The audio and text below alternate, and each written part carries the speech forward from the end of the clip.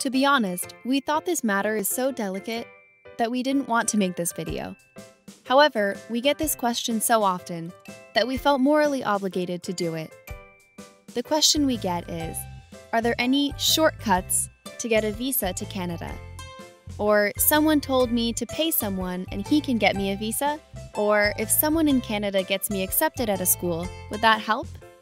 Our answer to these and similar questions is there is only one legal way to get a student visa to Canada, and that is by receiving one at border immigration along with your study permit from the embassy in your country.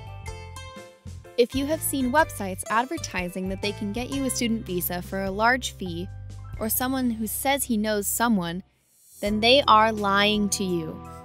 We couldn't be clearer. Do not do it. You can't pay to gain entry, and it is a federal offense to offer an immigration officer any kind of financial reward to give you a visa.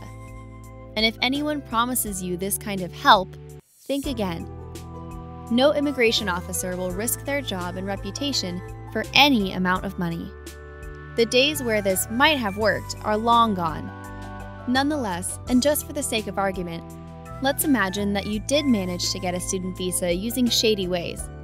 What many students do not know is that when you arrive at the airport or border of Canada, the immigration officer will check your visa, and he has the full authority to refuse your entry and send you back. How to get a student visa in a legitimate way? We have another video on that. Still need convincing? Check the very large Scam Alerts section on our website. It is filled with sad stories of students just like you.